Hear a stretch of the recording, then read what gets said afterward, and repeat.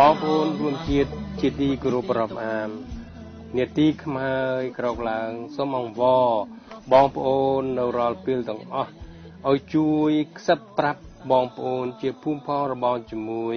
ដែលបានស្ដាប់វិទ្យុខ្មែរពិភពលោកនេះផងខ្ញុំដឹងថាបងប្អូនរួមជាតិខ្មែរនៅក្នុងស្រុកភាគច្រើនមិនសូវបានស្ដាប់វិទ្យុខ្មែរពិភពលោកទេ ព្រោះវិទ្យុនេះមិនមានដើមទុនគ្រប់គ្រាន់ក្នុងការទិញការផ្សាយបន្តចូលមកដល់ស្រុកយើងបានទេ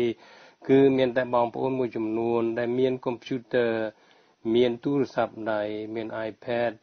ទើបបើកស្ដាប់បាន មួយទៀតខ្ញុំក៏ឆ្លៀតឱកាសនេះសូមជម្រាបបងប្អូនថាវិទ្យុយើង បានបដូរប្រព័ន្ធផ្សាយពី World Khmer Radio Online.com មកជា volkhmerradio.org វិញហើយនេះបើបងប្អូនណាបានដឹងព័ត៌មាននេះហើយសូមមេត្តាជួយបន្តដំណឹងនេះផងនោះយើងខ្ញុំសូមអរគុណជាអតិបរមាដោយបងប្អូនធ្លាប់បានដឹងរួចមកហើយថា ប្រទេសយើងអភ័ព្វណាស់ព្រោះបងប្អូនបានទទួលរងទុក្ខវេទនាដល់កំពូល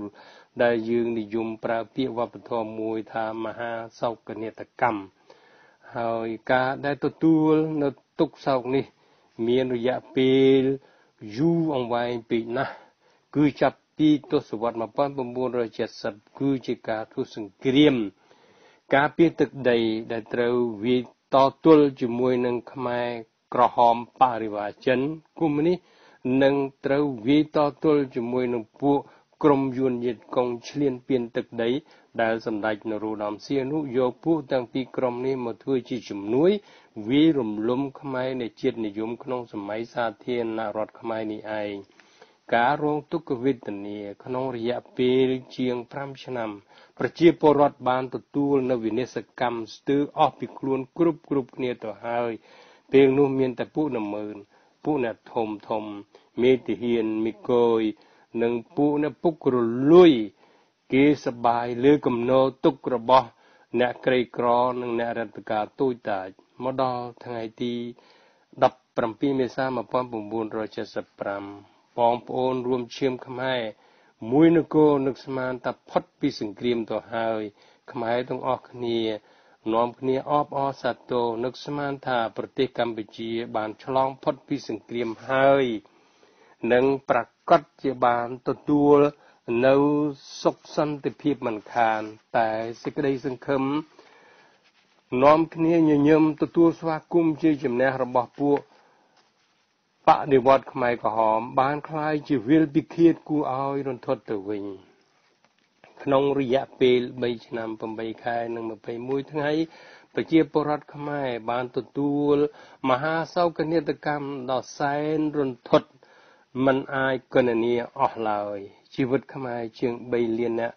ស្លាប់គួរឲ្យអណយធមបំផុត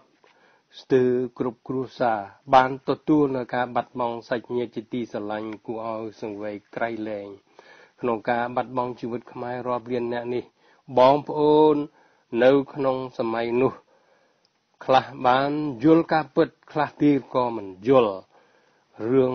សម្លាប់ប្រជាពលរដ្ឋខ្មែរនៅក្នុងសម័យខ្មែរក្រហមនេះ បើបងប្អូនបានតាមដាននិងយល់ពីនយោបាយរបស់សម្ដេចនរោត្តមសីហនុ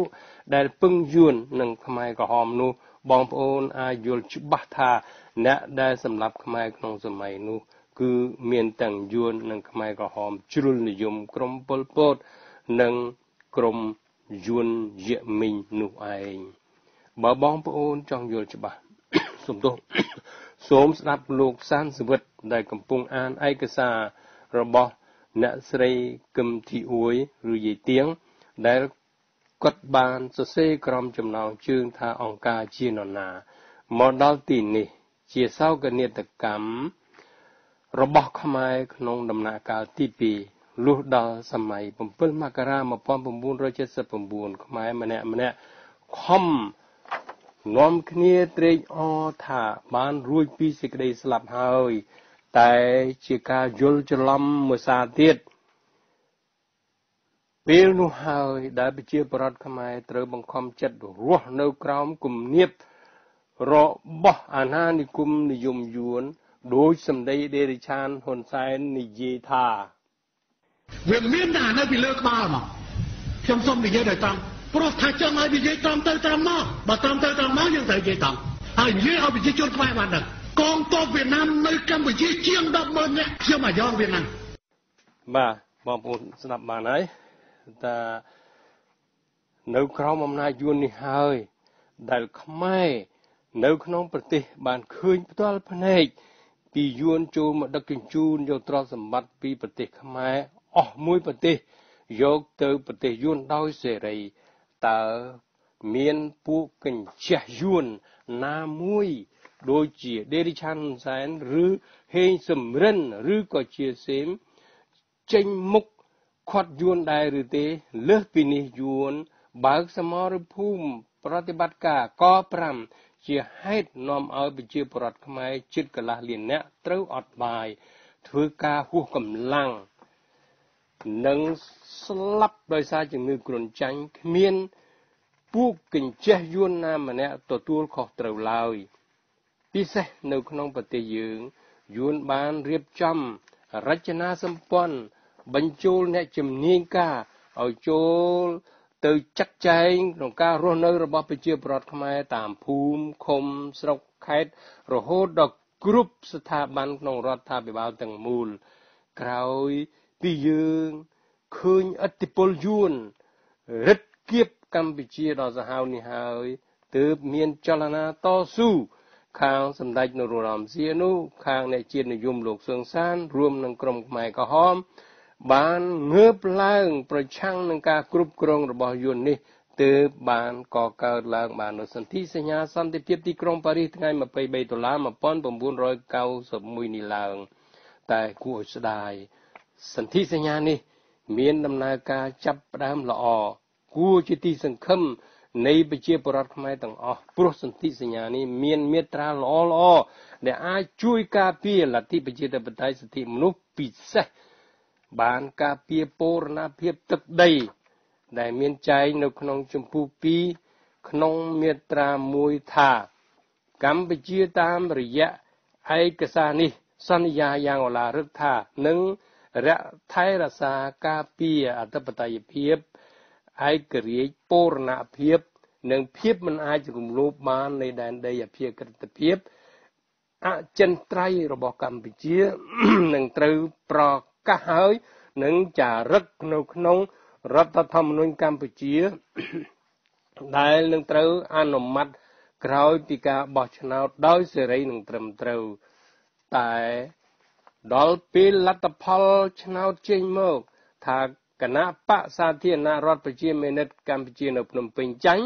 ហ៊ុនសែនក៏បានគម្រាមមិនព្រមទទួលលទ្ធផលនៃការបោះឆ្នោតនេះរួចហើយថានឹងបង្កើតតំបន់អបគម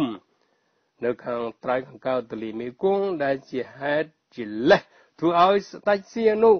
បានសម្រេចដេញអង្គការសហប្រជាជាតិចេញពីកម្ពុជាទាំងយប់ ហើយសម្ដេចនរោត្តមសីហនុបានប្រើវិធីសម្រុះសម្រួល បែងចែកអំណាច ទៅទ្រង់រណរិទ្ធជានាយករដ្ឋមន្ត្រីទី1ហើយលើកមិនតបហ៊ុនសែនជានាយករដ្ឋមន្ត្រីទី2រឿងរ៉ាវដែលអង្គការសហប្រជាជាតិបានជួយដោះស្រាយរោគសន្ធិសន្តិភាពឲ្យកម្ពុជា គឺជាការប្រសើរបំផុត តែគួរឲ្យស្ដាយណាស់ បុគ្គលជាអតីតខ្មែរក្រហមហ៊ុនសែននេះ មានចរិតជាមនុស្សព្រីជាមនុស្សអញនិយមមិនព្រមទុកគណៈបដតីទៀតដែលមានកម្លាំងធំជាងខ្លួនបានសុកដាច់ខាតដូច្នោះហើយទើបយើងឃើញដេរិឆាននេះរោគរឿងកំតិចគណៈបកហ្វិនសំពេចរបស់ទ្រង់រណរិទ្ធនៅឆ្នាំ1997ហើយរោគរឿងសពបែបយ៉ាងរំលាយគណៈបកសង្គ្រោះជាតិនៅថ្ងៃ16វិច្ឆិកា 2017កន្លងមកនេះនិយាយរួមមកឃើញថាចាប់ពីមានវត្តមានបុគ្គលដេរិឆានហ៊ុនសែននៅក្នុងឆាកនយោបាយលើទឹកដីកម្ពុជាប្រជាពលរដ្ឋខ្មែរយើងត្រូវទទួលនៅសោកនាដកម្មគ្មានថ្ងៃបញ្ចប់ឡើយការរស់នៅរបស់បងប្អូន រួមជាតិសំនឹងកវីក្រំងុយបានចងក្រងថា នគរថ្កើងផ្លែកសបាយតែភ្នែកតែចិត្តរងកម្មវាជាការពិតណាស់សូមមើលទៅធនធានធម្មជាតិសពបែបយ៉ាងដេរិឆានហ៊ុនសែនរំលាយស្ទើរខ្មុកទៅហើយគ្មានការងារធ្វើបងប្អូនប្រជាកសិករនិងពលករនាំគ្នាធ្វើចំណាកស្រុកផ្សងព្រេងទៅលោកពលកម្មនៅបរទេសដើម្បីរស់ ឲ្យទៅដល់ថ្ងៃ7មករាជារៀងរាល់ឆ្នាំដេរិឆានហ៊ុនសែនតែងតែអួតក្អេងក្អាង លើកកម្ពស់ដឹងគុណយួននោះ វាជាការបោកប្រាស់ដល់កូនខ្មែរគឺមិនត្រូវអនុគ្រោះឲ្យវាដាច់ខាត ការអួតពី7មករាកន្លងមកនឹងបន្តអួតរាល់ឆ្នាំនឹងនៅឆ្នាំនេះក្តី គឺជាឆ្នាំបំពុលដល់កូនខ្មែរឲ្យនៅតែដឹងគុណឃាត កយួនដែលបានសម្លាប់ខ្មែររាប់លានអ្នកនោះជាក់ស្ដែងណាស់ភ្ញាក់ឡើងក្រោកឡើងបងប្អូននាំគ្នាប្រឆាំងនិងនាំគ្នាដេញមេបីសាចទេរិឆានក្បត់ជាតិហ៊ុនសែននេះឲ្យបានទើបមេដាកម្ពុជានៃយើង មានជីវិតឡើងយើងងើបមួយគ្រួឬមួយក្រុមមិនឈ្នះទេលុះត្រាតែយើងងើបមួយប្រទេសព្រមគ្នានោះទើបយើងនឹង វានឹងចោះចាញ់យើងដូច្នេះភារកិច្ចនេះជាបន្ទុករបស់ខ្មែរយើងគ្រប់គ្រប់គ្នានេះឯងក្រមដេរិឆានហ៊ុនសែនកំពុងតែរំលោភបំពានលើលទ្ធិប្រជាធិបតេយ្យដោយអត់ហ៊ានខ្មាស់ដោយការពីថ្ងៃច័ន្ទទី26មីនា2018ដេរិឆានហ៊ុនសែនក្នុងឋានៈជានាយករដ្ឋមន្ត្រីបានប្រកាសជាថ្មីម្ដងទៀតថាដំណើរការប្រជាធិបតេយ្យនៅកម្ពុជានឹងនៅតែបន្តដើរទៅមុខ ហើយការបោះឆ្នោតនៅក្នុងប្រទេសក៏នៅតែបន្តធ្វើតាមកាលកំណត់ដោយគ្មានការកែប្រែប្រួលអ្វីឡើយហើយហ៊ុនសែនជាអតីតខ្មែរក្រហមនេះក៏បានបន្ថែមទៀតថាកម្ពុជាបានអនុវត្តនៅដំណើរការប្រជាធិបតេយ្យតាមរយៈការបោះឆ្នោតជាសកលរួចរាល់ហើយកាលពីខែកុម្ភៈកន្លងទៅនេះដើម្បីជ្រើសរើស តាំងសមាជិកព្រឹទ្ធសភាហើយនៅថ្ងៃទី29កក្កដានៅខាងមុខនេះកម្ពុជានឹងរៀបចំការបោះឆ្នោតជ្រើសតាំងសមាជិករដ្ឋសភាអាណត្តិទី6ដូចគ្នាដែរតាមរយៈសម្ដីរបស់នាយរិឆានហ៊ុនសែនប៉ុណ្ណេះបានធ្វើឲ្យយើងយល់ពីចិត្តគំនិតអថោកទាបរបស់បុគ្គលរូបអំណាចនេះច្បាស់ណាស់វាមិនមែនជាដំណើរការនៃលទ្ធិប្រជាធិបតេយ្យអ្វីនោះទេ វាជាវិធីប្លន់ឬជាការប្រើអំណាចទាំងបំពេញច្បាប់ទៅរំលាយគណៈបកសង្គ្រោះជាតិដែលប្រជាពលរដ្ឋជាងមួយជំនាញប្រទេសបានបោះជ្រើសរើសតំណាងរបស់ខ្លួនឲ្យឡើងមកធ្វើជាតំណាងរាស្ត្រដើម្បីធ្វើការបម្រើប្រជាពលរដ្ឋនិងប្រទេសជាតិតើនៅក្នុងពិភពលោកនេះមានប្រទេសណាមួយ មានវាសនាដោយប្រទេសកម្ពុជានេះដែរឬទេ ហើយនៅក្នុងលោកនេះដែលមានគណៈបកណាមួយចេញមុខទៅរំលាយគណៈបកមួយទៀតនៅមុនអាណត្តិនៃការបោះឆ្នោតសកលដែរឬទេតាមដឹងមិនដែលមានឡើយលើសពីអំពើព្រីផ្សៃរបស់របបដេរិឆានហ៊ុនសែនដែលបានរំលាយគណៈបកសង្គ្រោះជាតិនេះហើយគេបែរទៅយកអាសនៈ របស់តំណាងរាស្ត្រទាំង55របស់គណៈបកនេះយកទៅបែងចែកឲ្យគណៈបកតូចតាចផ្សេងផ្សេងទៀតដែលប្រជាពលរដ្ឋមិនបានបោះឆ្នោតឲ្យមួយអាសនៈផងនោះតើការគំតិចគូប្រឆាំងរបៀបព្រៃផ្សៃនិងខុសច្បាប់រដ្ឋធម្មនុញ្ញទាំងស្រុងបែបនេះអាចចាត់ទុកជាការធ្វើស្របច្បាប់ដែរឬទេនេះជាអំពើក្បត់ជាតិទាំងស្រុង ដែលប្រជាពលរដ្ឋមិនអាចអនុគ្រោះបានឡើយមួយទៀតដោយបងប្អូនបានឃើញច្បាស់ក្នុងថ្ងៃរួចមកហើយថាដេរិឆានហ៊ុនសែនក្អេងក្អាងអួតថាគេគោរពតាមលទ្ធិប្រជាធិបតេយ្យគឺគេបានរៀបចំការបោះឆ្នោតជ្រើសតាំងសមាជិកព្រឹទ្ធសភាស្របច្បាប់តែផ្ទុយទៅវិញអង្គការអន្តរជាតិមើលឃើញថាជាការបោះឆ្នោតជ្រើសតាំងខុសនីតិវិធីច្បាប់ទាំងស្រុងព្រោះ របបនារីឆានបានរំលាយគណៈបកសង្គ្រោះជាតិបាត់ទៅហើយតើមានគណៈបកប្រឆាំងឯណាទៀតមកប្រកួតប្រជែងតាមបែបលទ្ធិប្រជាធិបតេយ្យបានតទៅទៀតនោះដូច្នេះអាណត្តិនៃព្រឹទ្ធសភាក្នុងអាណត្តិនេះត្រូវទុកជាមុខៈការប្រកាសរបស់ហ៊ុនសែននៅពេលនេះធ្វើឡើងក្រោយពីមានការ ស្នើសុំរបស់ប្រទេសជប៉ុនឲ្យមានការចរចាដោយសន្តិវិធីជាមួយគណៈបកសង្គ្រោះជាតិដើម្បីបង្កើតបរិយាកាសបោះឆ្នោតដោយសេរី ត្រឹមត្រូវនិងយុត្តិធម៌ដែលមានការចូលរួមពីគ្រប់ភាគីពាក់ព័ន្ធមកដល់ចំណុចត្រង់នេះយើងមើលឃើញដេនឆានហ៊ុនសែនកំពុងតែមានមហិច្ឆតាក្រអឺតក្រទមដែលកើតចេញពីអំពើច្រឡំខាមរបស់ខ្លួនតែបាន ប្រើវិធីធ្វើវិសោធនកម្មគណៈបកទាំងបំពេញច្បាប់តាមឯកបកក្នុងសភាគឺមានតែគណៈបកប្រជាជនតែមួយគត់ដែលបានចុះហត្ថលេខានៅក្នុងការធ្វើវិសោធនកម្មនេះដោយមិនមានគណៈបកសង្គ្រោះជាតិផងទេនេះជាការរំលោភលើច្បាប់រដ្ឋធម្មនុញ្ញនៃព្រះរាជាណាចក្រកម្ពុជាឆ្នាំ 1993ជាក់ស្ដែងនិងមិនអាចប្រកែកបានឡើយដូច្នេះបើយោងទៅលើច្បាប់ធាក់ថយក្រោយគឺគណៈបកប្រជាជនកម្ពុជាមិនអាចធ្វើវិសោធនកម្មគណៈបកនេះយកទៅរំលាយគណៈបកសង្គ្រោះជាតិបានដាច់ខាតកំហុសឆ្គងដែលអតីតនាយខ្មែរក្រហមហ៊ុនសែនបានធ្វើរួចមកហើយនេះមិនត្រឹមតែសង្គមខ្មែរជាអ្នក ដឹកនាំគណៈបពប្រឆាំង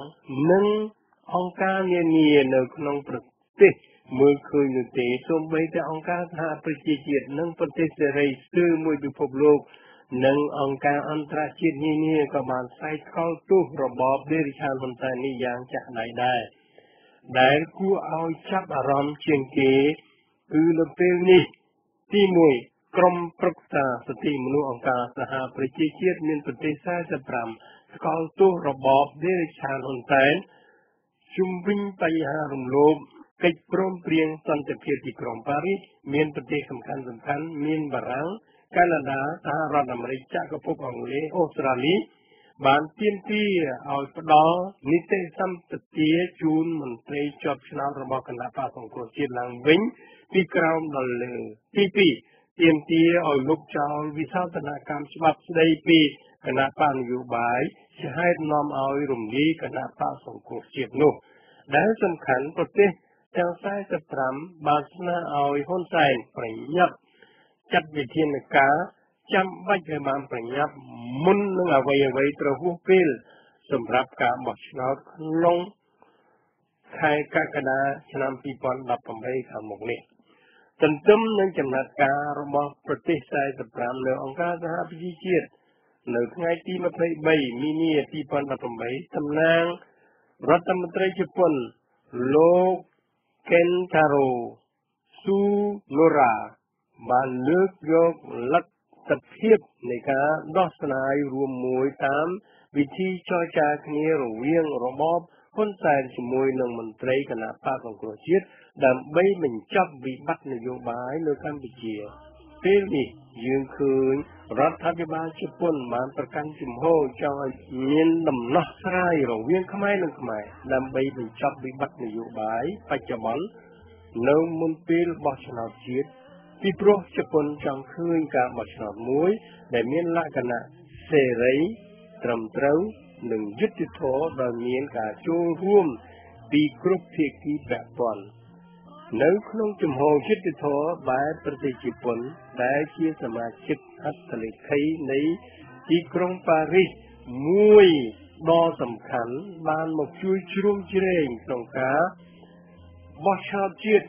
នៅក្នុងអាណត្តិទី6ខាងមុខនេះគួរណាស់តែគ្រប់ភាគីនយោបាយនៅក្នុងប្រទេសកម្ពុជាមានមោទនភាពនិងសប្បាយចិត្តទើបជាការត្រឹមត្រូវយើង ចាំមើលតទៅមុខបើភាគីគណៈបកណាមួយមិនព្រមធ្វើតាមដំណើររបស់ភាគីជប៉ុននេះទេកូនខ្មែរនិងប្រជាពលរដ្ឋខ្មែរទាំងអស់គ្នាអាចចោទថាគណៈបកនោះជាគណៈបកក្បត់ជាតិ100%ហើយសូមឲ្យប្រជាពលរដ្ឋជាម្ចាស់អំណាចត្រូវតែអាចកាត់ដាក់កំហុសទៅលើគណៈបកនោះដោយឈប់ ទទួលឲ្យចូលក្នុងការបោះឆ្នោតជាតិត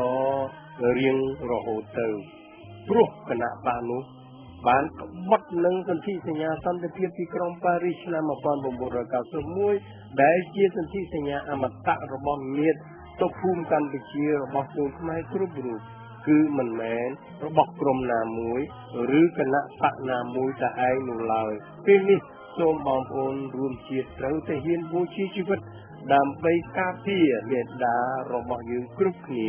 ឲ្យរស់នៅគង់វង្សសម្រាប់កូនខ្មែរគ្រប់រូបតកូនតចៅតរៀងរហូតទៅបាទពីខ្ញុំមកជាថងតាវិទ្យុខ្មែរពិភពលោករៀបរៀងជូនបងប្អូនស្ដាប់ពីរដ្ឋមនីសូតាសហរដ្ឋអាមេរិកដោយសេចក្តីគោរពរាប់អាននិងស្រឡាញ់ដ៏ស្មោះសូមអរគុណសូមជម្រាបលា